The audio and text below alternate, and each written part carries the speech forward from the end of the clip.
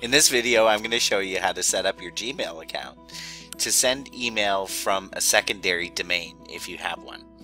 In the first part of the video, I'm going to show you if you do have a secondary domain with your email address, and then I'm going to show you how to set up the sending part. So let's get started. From your Gmail inbox, choose your profile picture and select My Account. From your My Account page, choose your personal info. Click on Email and scroll down to Alternate Emails. This is a list of email addresses with secondary domains already configured for your account. Aliases may show up here as well. In this example, I want to configure sendmail as bailey at sastech.co. Now that we've confirmed our email address with the secondary domain, go back to the inbox, click the settings gear in Gmail, and choose settings.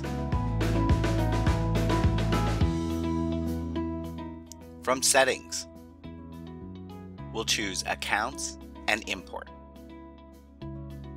Now look for send mail as and choose another email address.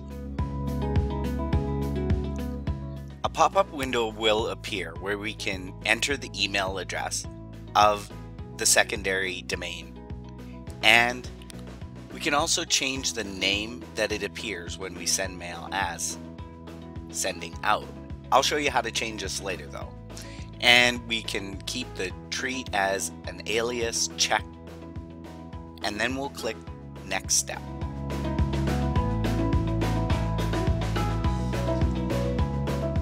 Here you can see all the addresses that we can send mail as, and we can add more if we like.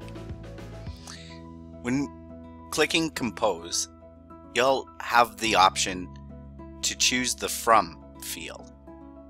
Here, I'll select at sastech.co.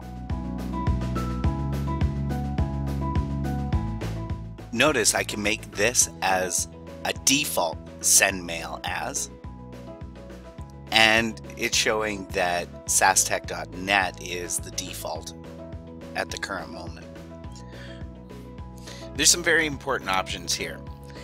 When replying to a message, we have an option to reply from the same address that the message was sent.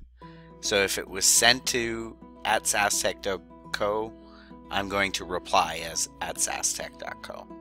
Or we can choose to always reply from whatever we choose as the default address.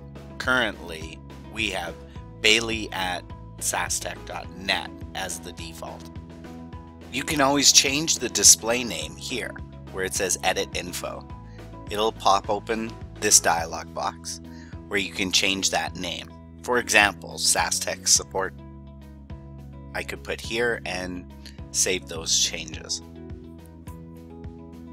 Now let's take a look at how this might appear in the compose box. Notice the display name has changed. This is how it'll appear when others receive email from that address. Here, I'm going to show you what I mean as display name. I'll just send a message back to myself.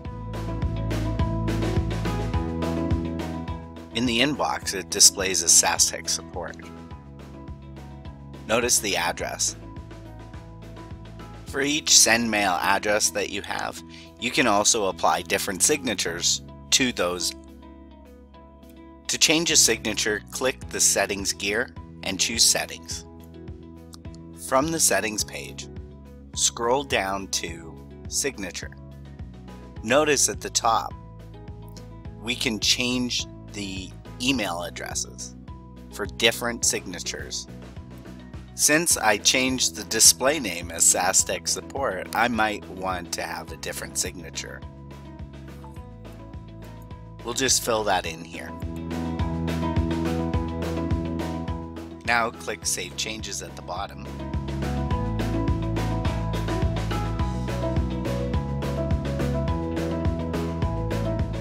When changing the from addresses, the signature changes in the body of my message.